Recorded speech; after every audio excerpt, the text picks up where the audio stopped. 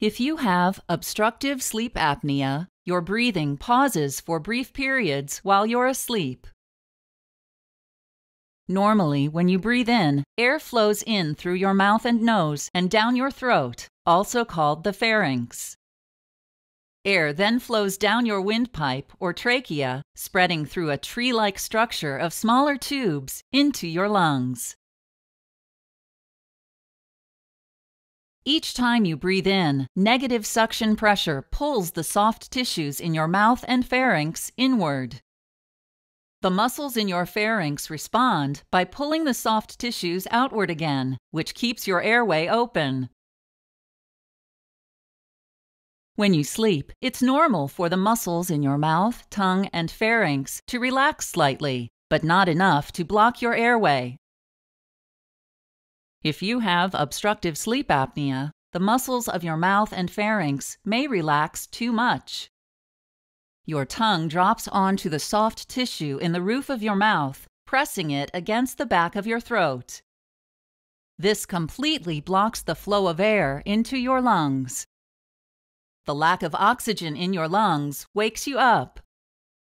You may gasp for air to reestablish airflow before falling asleep again.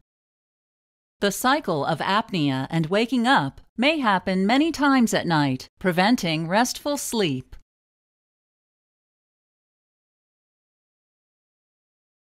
Factors that may contribute to obstructive sleep apnea include obesity, because more fat may be present in the walls of the pharynx, a small or receding jaw with a narrowed airway, loss of muscle tone in your pharynx due to aging,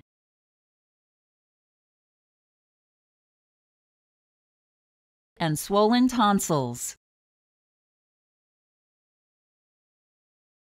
Common symptoms of obstructive sleep apnea are snoring, morning headaches, chronic daytime sleepiness, fatigue, irritability, and impaired concentration.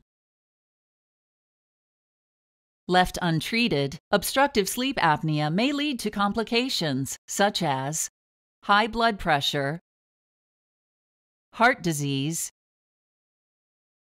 irregular heartbeats called arrhythmias, stroke, and diabetes.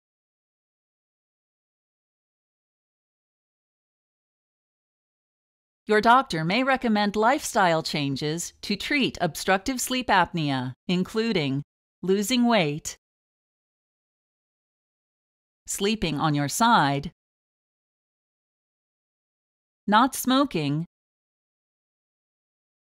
and avoiding substances that can make you sleepy, such as alcohol and sedatives. For mild or moderate obstructive sleep apnea, an oral appliance may keep your airway open. This device works by pulling your jaw forward and moving both your tongue and the roof of your mouth away from the back of your throat. The most common and effective treatment for obstructive sleep apnea is a continuous positive airway pressure or CPAP machine. This machine pumps air through a tube into a mask that fits over your nose or both your nose and mouth. The mild air pressure of the CPAP machine helps keep your airway open, enabling you to get a deep, restful sleep.